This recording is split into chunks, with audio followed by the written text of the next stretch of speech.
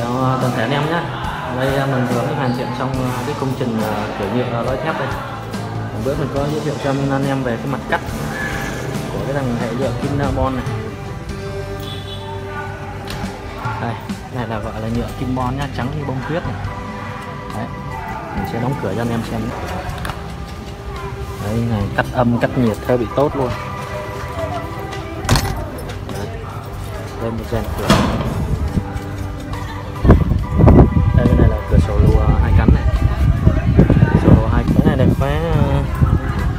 Giờ quy nhá. Người này bị diêm điện thoại nhá rồi phòng thông phòng hai cánh đây. Thông phòng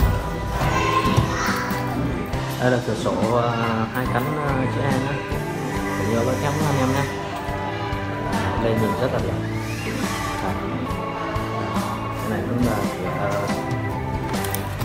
Sổ mở chữ A này.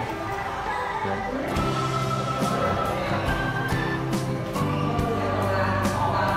À, mình sẽ xuống dưới uh, cho anh em xem cái cửa trong ngành nhé mình vừa mới uh, hoàn thiện trong uh, ờ, cửa nhựa lói ghép cho khách hàng.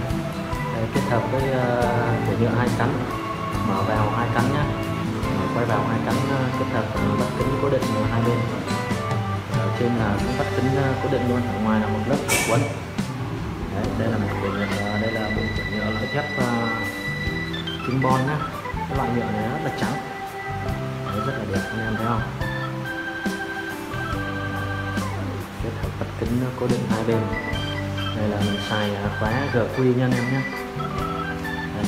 khóa hiệu GQ đóng mở rất là êm cắt âm cắt nhiệt.